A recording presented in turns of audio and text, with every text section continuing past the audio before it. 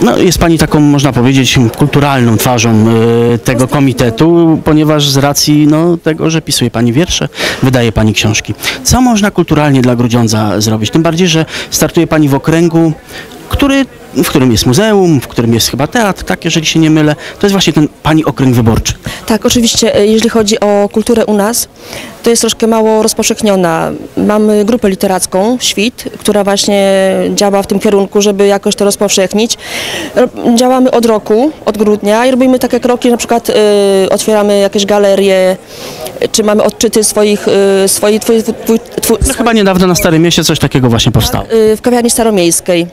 I tam mamy swoje spotkania, w których się spotykamy. Co, kultura, co kulturalnie dla Grudziądza y, może taka radna zrobić razem z innymi radnymi?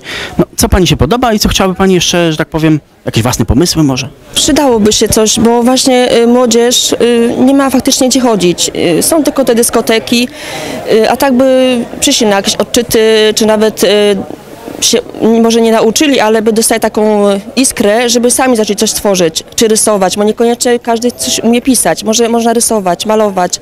Jest dużo takich rzeczy, żeby siebie zaprezentować i to jest dobre, bo wtedy jest się już kimś, po prostu już się wychodzi z tej szarości, z tej codzienności, nie tylko praca, dom, szkoła, dom, ale jest coś więcej, że można na przykład coś Czyli takie ukulturowienie młodzieży. nie, i można siebie coś dać, pokazać to na zewnątrz ludziom.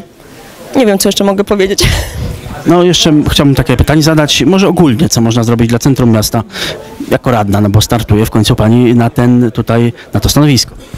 No na pewno będę popierać cały nasz program, który, który przedstawialiśmy, bo faktycznie y, polityką się nigdy nie zajmowałam, ale od pewnego czasu i w ogóle, mimo że się nie zajmowałam, interesuje mnie, co się dzieje w Grudziądzu.